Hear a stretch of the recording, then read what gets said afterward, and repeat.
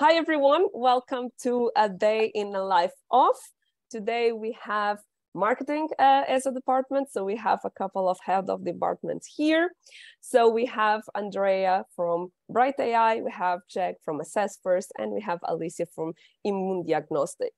So uh, my name is Mafalda. I'm the head of business development and customer success here at Wonderway, and I'm super excited to speak with my guests today. Uh, so I'll let them introduce themselves. So Andreea, why you don't go first? so, hey everyone, um, I'm Andreea Mandeal. As Mafalda said, I'm the head of marketing at Brighter AI. Uh, for the last decade, I've been um, doing B2B marketing for different startups and scale-ups uh, in Berlin. And yeah, Brighter is no different. is a privacy tech uh, startup based in, in Berlin. Great. Jack, would you like to go second?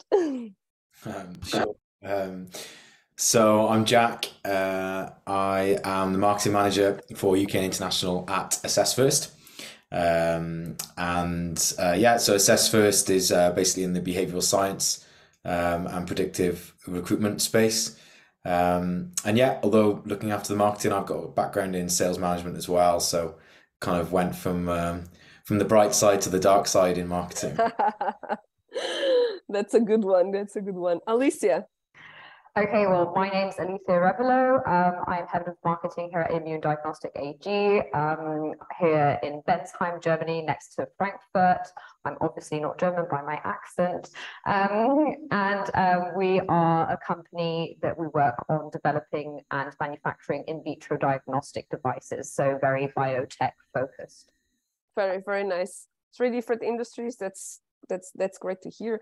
So yeah, let's crack on. Um, so Jack, how is how is your role in a nutshell? Let's start very general.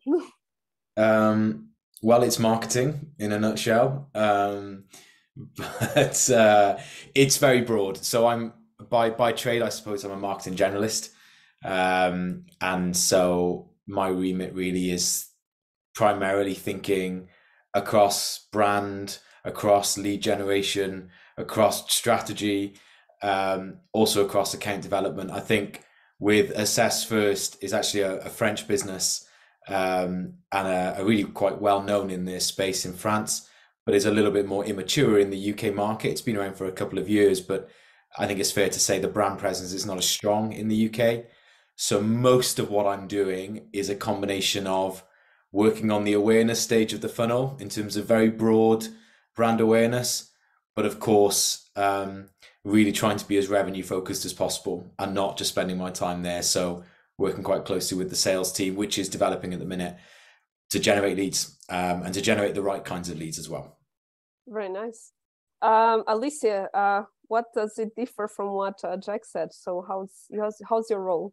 Okay, my role, I would say, um, of course, it implies strategizing. I would say that also my role implies a lot of um, personnel. So of course, like I manage a team and at the end of the day, people is sometimes the most complicated part of a company.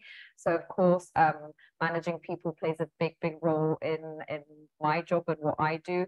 But I would say that we're more focused on strategizing. We're focused on business to business. Um, but of course, we try and develop very niche parameters for diagnostics. Mm-hmm. So we have to try and convince key opinion leaders and doctors that they should use this specific parameter for um, the diagnostics that they're doing for certain diseases. So, of course, for us, it's always strategizing about why they should use that, and of course, lots lots involved in actually the development of the information for doctors and education. I mm-hmm. would say that we're very focused on, and um, of course, then um, yeah, just developing and developing and improving the test work a lot with product management as well. So um, we have to focus on making these products as well as possible and that meet all the necessities of the market at that point, really. And like Jack, you also came from the bright side to the dark side, didn't you? Um, so I did study marketing and sales management. Um, so I actually have always done business development, so much more focused on sales. Um, and then I moved on to marketing. So yeah. Nice. nice, Andreea. How about you? How does your role differ from what was said here? You didn't come to the bright side, to the dark side, did you? You know what? I don't really know why you call it the dark side to begin with, but uh, fine. fine. I, I, would call it the other way around, you know, but it's fine. I can see your preference, Mafalda, already. Um, so no, I've always done marketing, always B2B, always startup scale up. So I don't know. I, I, guess I found my my way, so to say, or the way found me super early on. Um, my role is very different because first of all, I joined uh, Brighter just a month and a half ago, but also because uh, marketing is very new for the company. So I'm still in the process of actually setting everything up, right? So when when you when you think Martech, like everything needs to be synchronized you know in order to be able to run any campaigns right you need to to have the right text and you need to have it synchronized so we're working on this now but um you know that usually takes a bit of time nevertheless i this is this this was my starting point then also education uh, it's a new category, right? We do data anonymization for faces and licenses. So basically deep fakes, you know, to protect identities in public, which sounds pretty cool, but people don't know it exists right? Yeah. You also regulators and so on. So it's it's a comp- relatively complex product with a cool mission, so to say. But uh, a lot of education work needs to be done, you know, before you even, you know, start um, uh, doing lead gen campaigns and stuff like this. And branding, right? If there's no marketing, you can imagine that there's no really branding. There's like there's a logo there. There's kind of like what we do deck somewhere. So like putting everything in order takes time. This is where I'm at, but um, yeah, it's it's very exciting. Would you would you say that that's one of your biggest challenge in your role currently? Um, mm, content for me is the biggest challenge, right? Because mm-hmm. creating good content takes a lot of time. You also need it for branding, for everything. I think everything, for me at least, everything starts with content. Everything starts with story. So at the moment, content is my biggest. Creating content is the biggest challenge um, all the rest i think with the right people you can get done you know i mean it's it's it's no rocket science but yeah. Content Jack, is hard. what what do you say? Is content also uh, one of your biggest challenges in your particular case? Uh, it is a challenge um, which is why i'm recruiting for that role actually. So all right if any one of you is listening to us and like to apply yes, I need some as well. So please go ahead. All right. So that's not why I'm here. so here we go. We yeah. just changed from talking about your role to a hiring part. So yeah, yeah, it, it's let's... a break for the interest for the hiring. So Andreea, Alicia, and Jack are hiring. So continue, Jack. let's let's not turn this into a jobs fair. Um, but um, no, it is a challenge. Uh, yeah, I think for everything that um, that Andreea's just said. Really, you know, it takes it takes time, um, and I, I, I am on the bright side of marketing. Like I love being creative, so I love coming, you know, with ideas and thinking about the comms strategy and genuine, especially in B two B. I think there's a uh, there can be a hesitancy sometimes to be super creative, um, or certainly there has been um, in years gone by. Um, but actually, the B two B market, I think there's beginning to be more and more space for big ideas. So I've got lots of ideas, but it then just takes the time to execute. Can't just come up with ideas and then not do anything about it. Um, so that, of course, is a challenge. Um, if you're asking me, were you asking me what my biggest challenge is, or was that was it just on content? Sorry. On yes. Yes. Yeah. Yeah. No. I, so I think my biggest challenge actually is um, is a, is a little bit unique actually for me in my career so far. So um, my background also is in startups and scale ups, and usually there's lots of things you want to do, but maybe the budget might be a little bit more restrictive. With Assess First, it's quite a an interesting situation. As I said earlier, they're actually quite a well established and well oiled machine uh, for the French market. I mean, there's customers all over the world, um, like three and a half thousand of them, but actually within the French market, very well established. But in the UK, it is very much a startup. And I think that my personal biggest challenge, but also maybe the biggest challenge for the business is how do you create a level of autonomy and independence to enable growth into a new territory where the brand is not so well known, whilst at the same time holding on to you know the things that make you who you are and i think actually from a startup that even if you're not internationalizing that's something that you know a lot of startups do as they scale and as they try and grow how do you go and find all these new communities these new advocates whilst also making the most of and looking after those people that have really got you to where you are today. And I think that challenge across languages, across cultures, doing it in a way that doesn't neglect all the great things we've already done in France, and I'm proud that we're French. It that is a challenge in itself, which can be seen in lots of areas of the marketing mix. So that's the bit I need to navigate. Nice. Alicia, I see you nodding. Would you like to build on that? I mean, um, I completely agree. At the end of the day, um, yeah, challenges come from lots of different points, and I think that I can agree that um, about like creativity in B two B business, um, they're always like very reluctant to to go into like these create, let's say, more crazy ideas. But at the end of the day, um, marketing is extremely important for for business to business or business to client. Like, why would you like try to differentiate that? And I think that also um, let's say in general structures when it's b2b you are going to a type of persona that can be very reluctant to certain ways um, but i think that that is changing generationally so that's kind of fun um, but at the end yeah with the content and the challenges and everything i have like big issues because at the end of the day i only work with scientists and part of my job is um, trying to translate science into human language is one of my let's say i would say they are human scientists though right they, they are kind yeah. of you know sometimes i feel i hope um but yeah um sometimes having people realize that the message that they're trying to actually show to the world isn't being understood and that if you put it in a, if you actually express it in a different way people are going to understand it and feel it and create an emotion. But the way that they're saying it right now no one understands and they're not actually you know playing with people let's say not playing but actually having like emotions towards it because they're not understanding they're talking in such a technical way that at the end of the day it's very hard for, to understand for the rest of people and especially when you're trying to sell science to businesses there's like a, a miscommunication there um, because at the end of the day when we're going like in I don't know, we're going internationally and we're trying to convince companies to sell our products in a certain way. Um, the scientists are just putting up all the technical part and all that technical information and how they see it and you can see their passion in their faces but they're not actually getting the the message to to the person. So i would say that's a big challenge on my side. Yeah i see.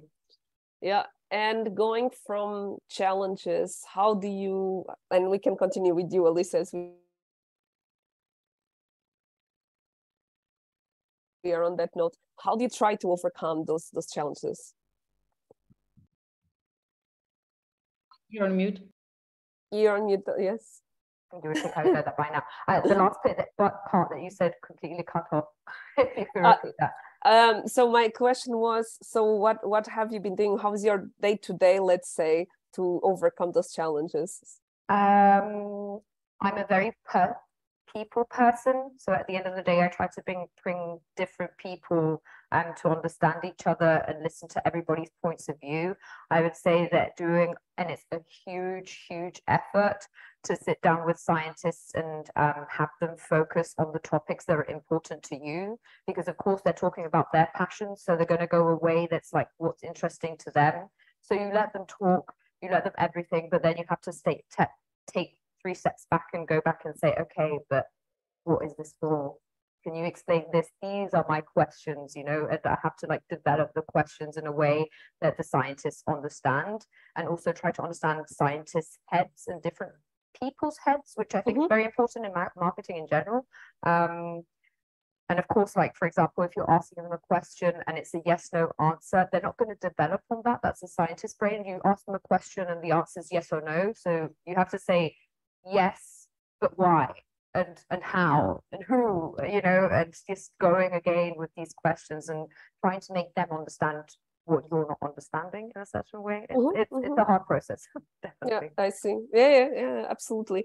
I used to prospect technical personas, so I do relate a bit to that. Um, uh, so yes, I, I I totally get you. Andreea, how's usually your typical day look like? Like, um, I'm too new to uh, have a typical day, to be honest. So um, it's uh, it's a bit hectic. I think every beginning is a bit like this. It takes time to uh, to start prioritizing properly. Um, but really, I mean, the what I'm trying to do now is really find a way to to to tell our story in the right way um, based on the based on the persona. That's going to take some time, and it's it's the same like Alicia said. Um, I think it's, it's especially when you deal with uh, personas that you have nothing in common with, like I don't know, lawyers or, but lawyers are amazing people. I'm just saying that they're very different from previous personas I worked with, right? Um, or I don't know, like machine learning uh, engineers and so on. They're very different, so you need to tell stories also on, like based on on their personality.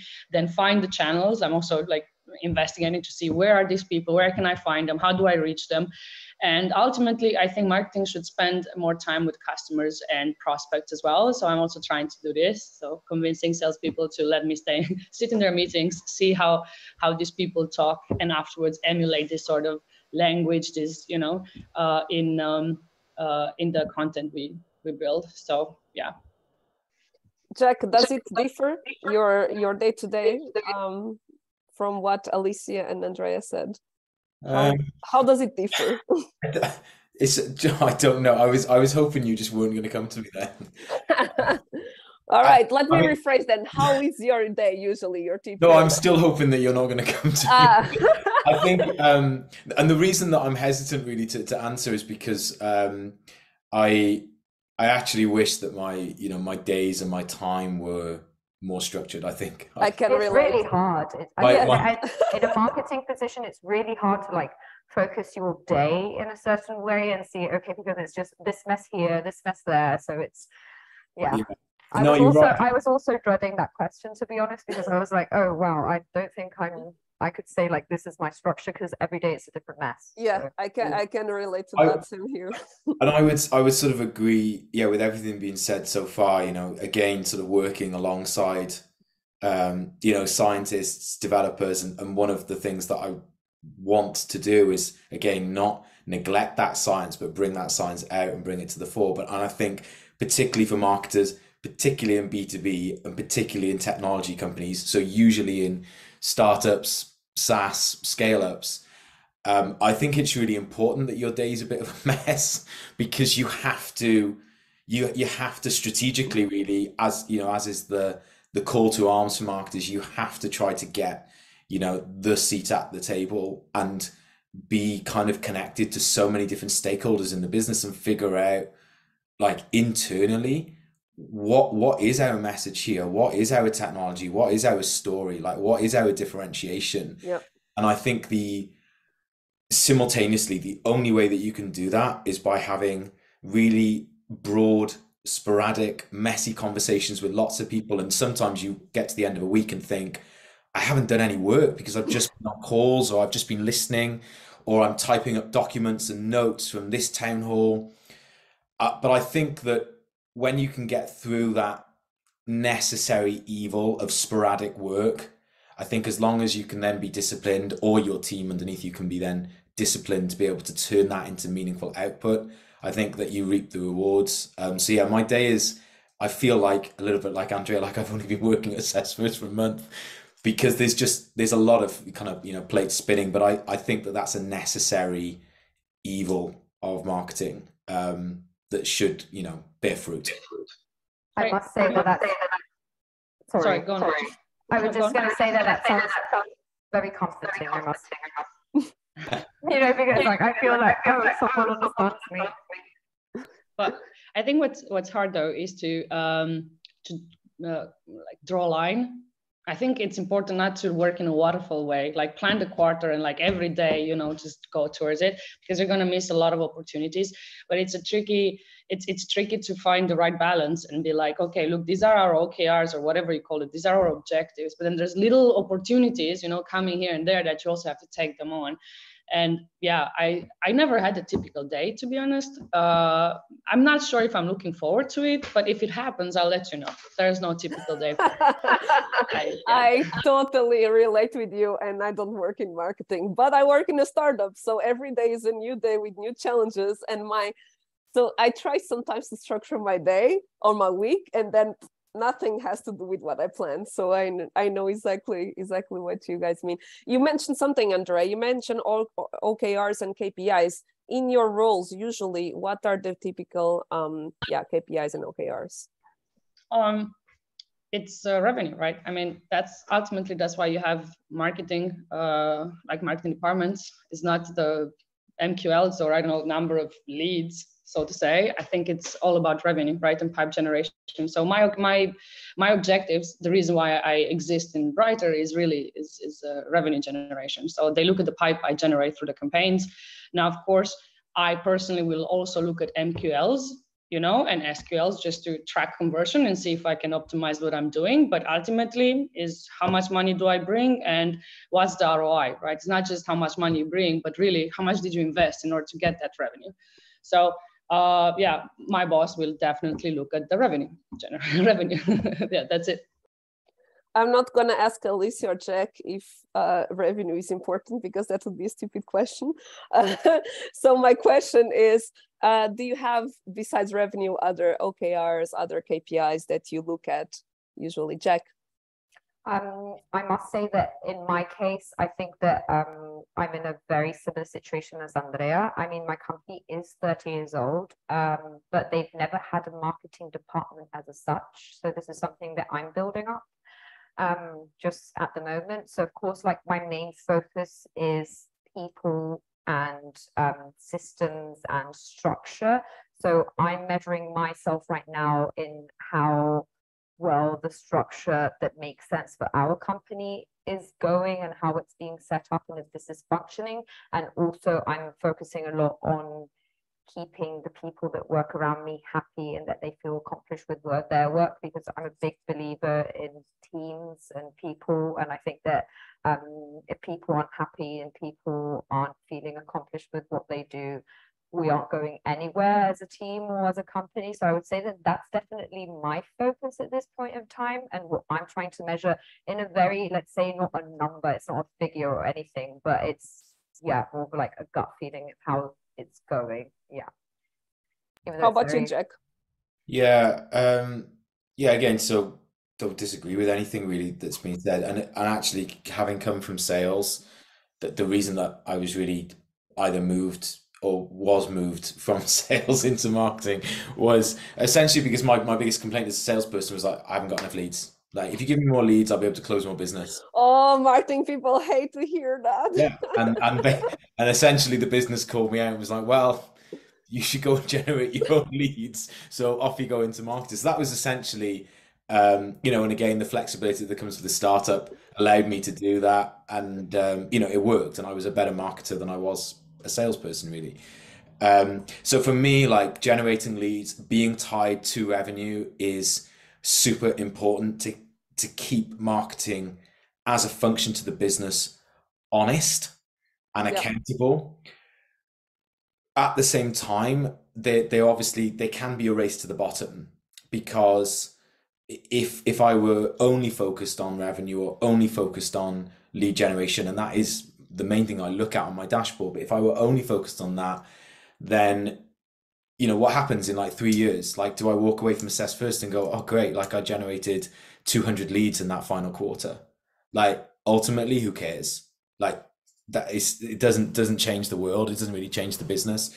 So whilst revenue is like super important and is the thing that keeps me accountable, I think for me, again, from a start, if I think about a startup mentality, trying to break into the UK, it's also a bit like flags in the sand. So, can we demonstrate that we are engaged? So, whether that's digital engagement across social, can we demonstrate that we're engaged with people that we're confident are our ICP, that we're confident are going to be the sorts of business and be the sorts of thought leaders in that market that are going to be able to take the business forward? And I would, of course, I want to be able to walk away from Assess First whenever that is and say, you know, me and my team were able to contribute to the revenue and to the leads and, and all of the, that kind of tangible stuff. But I think also what would be more important to me is to be able to walk away and say, look at these businesses that we were having conversations with in 2022.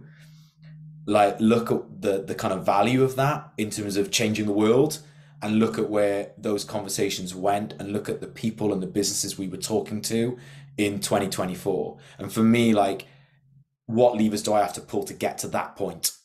Um, that for me is like the thing that I'm focused on always, but that's very difficult to communicate in a way that people just think you're not making it up, you know? So it, there's a balance. Um, yeah, there's a balance. I see Andreea smiling. Do you have anything to add there? I don't know. Like if I had a boss that would talk to me about what conversations I had, I would be like, wow, that's that's amazing. That's never gonna happen. I don't know. Ultimately, I don't I always thought it's a very clear mission. It's like close deals, bring the inbounds to, you know, grow the inbounds, just grow constantly grow you know and uh, optimize the performance of your campaigns. And ultimately if you are good at showing that um, you know you engage with the with, with your customers the prospects and so on that's going to show in the revenue. So ultimately everything you mentioned is connected to the revenue like if you're good at all those things you said you're going to see it in the revenue so this is why i think it's actually a good a good indicator but again having just one i think it's a bit uh, too little i think it's reductive uh, but I've met many marketers that have as uh, their objective, they're like KPIs, it's purely MQL. And I think that's a mistake because you can fake it. I mean, you know that, right? Your marketers, yeah. you can fake what an MQL is, change the definition, approve more, and so on. But ultimately, if nothing yeah. closes, you're going to get in big troubles with sales because you know you're going to need sales to be a successful marketer. So I think it's it's um, it's not a good way to to do it. I really think it's it's a number of opportunities and and the, the revenues that marketers should look at. At least if I was a CEO, that's what I'd ask my marketers to look at. Yeah, absolutely. Yeah, yeah. And there is always this very known sales and marketing friction uh, that um, I also like. I mean, me and Andreea, just for context, used to work together. I used to be in sales. Uh, she was in marketing. Um, and I always saw marketing as my best friend because it really helped me book more meetings. And Andreea knows that. I'm not just saying this for the camera. Every time she's like, I have these marketing stretches, like, oh my God, this will generate more calls for me, which will help my target. So it's, I think it's really important also what Jack mentioned as well. It's really important for the whole success of the business to market, marketing and sales really, really work together. Um, going um, to, uh, let's say, the last part of our uh, chat, how, Alicia, how do you keep updated with the new uh, marketing trends or how to how do you get ideas? What do you read? What's what's the media that you consume? Uh, i would say that i consume every type of media possible i'm in the sense of like i get ideas from of course reading articles maybe in harvard business review and the you know like marketing specific stuff. I even get ideas from a child posting something on TikTok. So actually saying where my idea comes from is very, very broad, you know, because of course you can read a super professional article and they're commenting on this and the research that they've done. Um, but then you have a 15 year old posting some weird idea that they've had um, on some social media. And you also get a light of like, oh, wow, wait, that could actually work, you know? So saying, hey, I get my information from here is I wouldn't say answerable, um, but I think that as a marketer, you have to keep your eyes and your ears open all the time from everywhere and all the information that's coming in, you know. So yeah, it's very hard to focus where it's coming from. Yeah, same in sales. Yeah, absolutely. Jack, what would you say here? These, is there anything that you usually read that's also here and there? How how do you usually consume knowledge? Let's say. Yeah, so there's there's obviously a lot of information everywhere, um, which I personally find quite it can be daunting uh, to know where to go and and actually then why are you even bothering because it's just like noise. So for me, um, I just I actually use the the CIM, so the the Chartered Institute of Marketing here in the UK. So that for me was um, as well as just making the move from sales into marketing. I went in in, in at a tactical level really as a marketer, but the CIM enabled me to see things at a strategic level and actually whether you're talking about generating leads, generating revenue, the strategies that you learn in some of the oldest frameworks from the CIM, if you go back to Ansoff in the 60s, you know, they still hold up. They still hold up even in digital marketing and social media. So for me, I go back uh, to the to the CIM website. There's a resources section on there. There's regular podcasts, there's regular blogs, and basically just use that as my hub and from there kind of work out.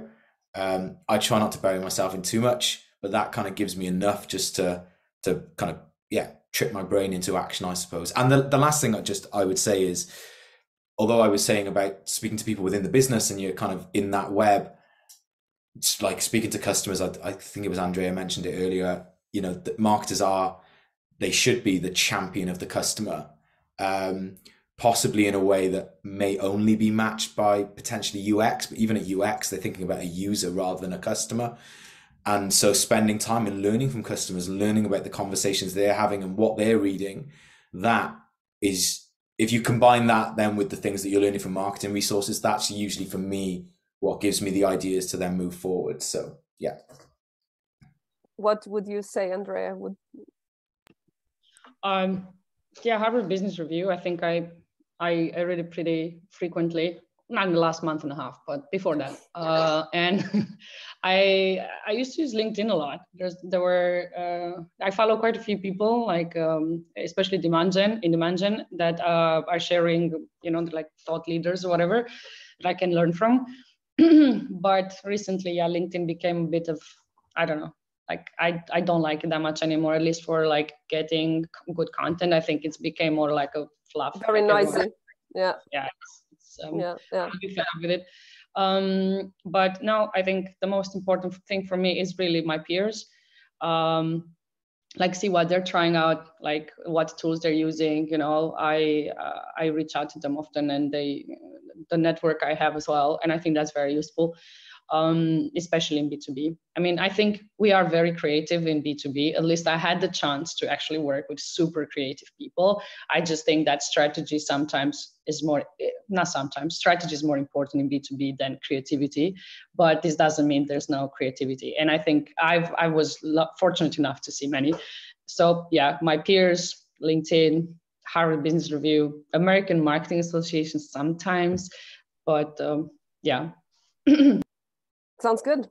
Good. As we are wrapping up, I have a final uh, question for all of you. So basically, um, I was collecting prospecting emails for marketing people, and I will show you one. Obviously, I took away the company and the name of the person.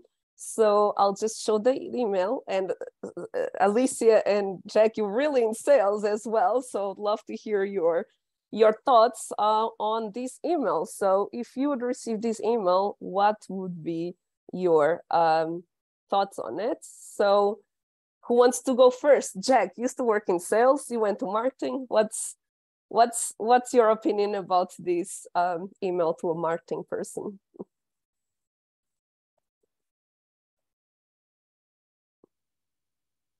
I need some time to read it. Hang on, very quickly. Uh, da, da, da. So I think to a large extent the the game of cold marketing and cold sales is largely dead anyway.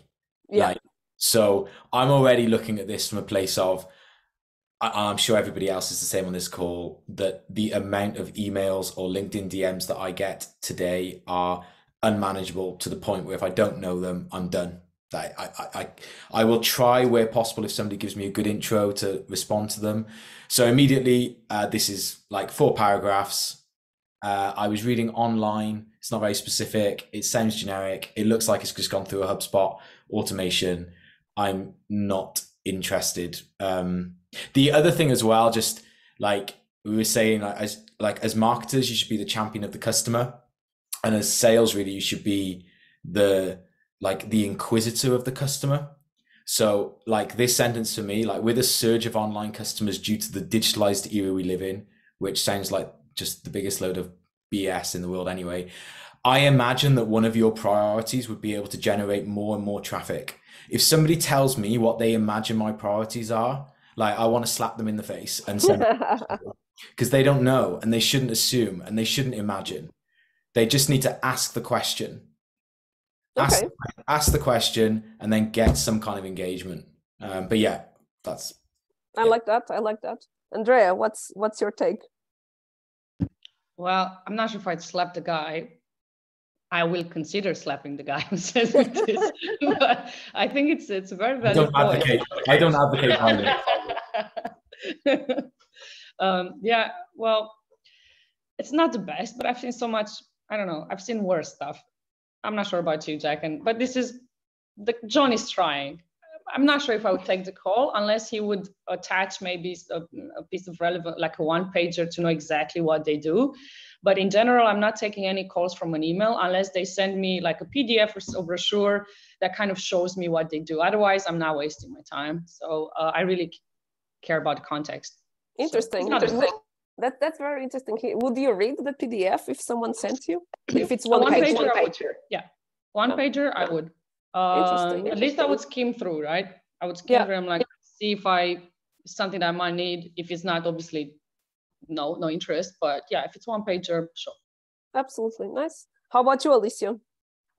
I mean, I must say that this is the type of email which I immediately delete. I probably wouldn't even yeah, probably if I see just in the email that I was reading online that your company, I wouldn't even open the email most probably just because of the amount of work that we have at the moment. It's something that I can't invest time on. Mm-hmm. And also, um, you can make emails interesting and you can catch you can catch attention on the email and you can tell me what you do and if you were telling me directly on the email hey we can offer you this xyz and this is how we're going to help you then i might be able to invest the time. Um, but if i have to actually read this email it's four paragraphs. You're not saying anything. I feel that you're not giving anything of interest and yeah you're not giving any value on the actual email then i would actually have to go to the email see if you're actually add attaching something. Yeah I wouldn't have the time for that, unfortunately. I suppose that that would be my thing. Can I ask you something? Like, yeah. if do you care if a vendor says we work with I don't know Abracadabra and Marina and whatever? Like, does this help you? Because honestly, I don't care that Me much. Does it? I love, I, I, love that point, Andreea, that you just I, made. I don't because I work in um, diagnostics in general, and maybe you can say, oh, I work with Roche that's as nothing. That's as nothing. Your, yeah, right. Roche is big. You're giving, giving. So Does it matter to you? Because that I see in every prospecting email. Like we work with X, Y, Y. I'm like, yeah. I feel that some people might see, oh wow, I want to reach that. Really? You know, okay. maybe that helps someone for me. Each person is different. There is, there is there is no right or wrong, right? So this is just your opinion on. Uh, from in my very personal opinion, I also tell my BDs to not name drop. I don't think that's relevant, but you know, each person reacts differently. How about you, Jack? So both with this email, but then sorry, there's a bit of an echo. Yeah. Um, both with this email, but also this applies to like social selling. So social selling for me is something I'm super passionate about. Like I've consulted- you are. I love your posts. I hope you don't consider me a stalker because I'm always liking them.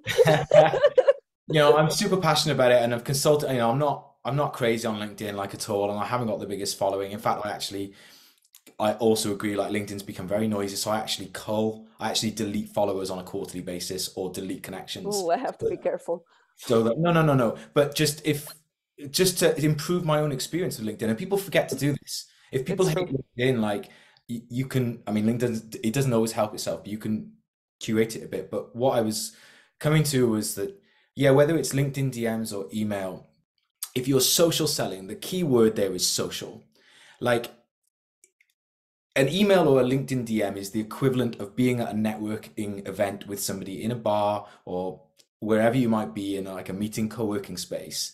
And can you imagine waiting for a glass of prosecco to come over at a networking event and somebody coming over and saying hi john how are you? Um, yeah so we work with this company and this company and blah blah blah. And oh and and this is what i do. And i can imagine one of you like you well some people doing that on conferences and i'm like this is so weird. But like, like why are you doing that? and there's the social part. You're missing the social you miss the social part. And if the, the people that can find a way i mean you'll never be able to recreate that physical connection engagement but people still buy from people. And in my experience the salespeople and actually i was quite good at this part of the sales pipeline. I was not so good at closing. I was much better at opening. The people that can find ways to open up that social element, like without pitching in four paragraphs, like how would you speak to somebody at a bar if you've never met them? How would you speak to somebody at the street? It's like, hey, have you got five minutes? I just want to ask you a quick question. Or do you mind if we just go and sit down over there? I just I've, I've met this person said I should really talk to you. Or like instead of saying I work with this company, this company's like what one thing we used to do all the time in sales would be, hey, I'm visiting this studio because I worked in VFX. Hey, I'm I'm at this studio. I can see they're two streets away. Do you mind if I pop in for a coffee? And like, if you can find that social element in and if you read an email and it just doesn't sound like you could say that at a bar to somebody, you probably shouldn't be saying it. That's why GIFs and videos work really well in email or, or I mean, I think the wave has probably faded, but that's why they work so effectively because they reintroduce that social element, even in really serious B2B environments. So yeah, that that would be my like thing. I agree. Yeah, no, totally. I, I I train my sales reps and I'm yeah, I'm all about like LinkedIn video uh, social and less robotic kind of conversation like and voice, and weird jargon right voice notes as well voice love them gold honestly like hardly anybody uses them. So those that's insane. Uh, that's insane. Like voice messages on linkedin are so powerful. It's yeah. crazy. Yeah, yeah so people who are listening to us please start using voice notes on linkedin. But but you know as as all of our guests said be human. Don't just say hi hi andreea. I'm reaching out to you because i work with blah blah blah and blah blah blah. Yeah right? yeah. so, you, uh, can have so much fun with 30 second voice note like absolutely great um great thank you so much all of you for uh this chat with me it was very insightful for me and for sure for everyone who are listening to us um, for those who are listening, um, we have uh, more episodes coming up as well. And uh, yeah, I hope this uh, helped uh, everyone in the community to better understand uh, the marketing department. So thank you so much, all of you, and I'll speak thank to you. you soon. Speak to you soon. Bye, Have guys. a good one. Bye-bye. Bye.